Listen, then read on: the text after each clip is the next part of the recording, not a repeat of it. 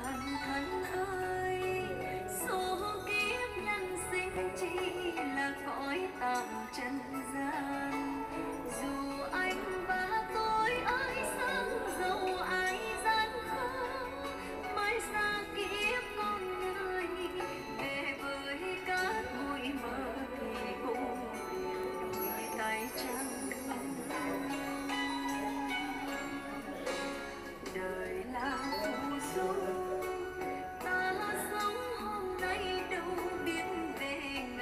mãi sau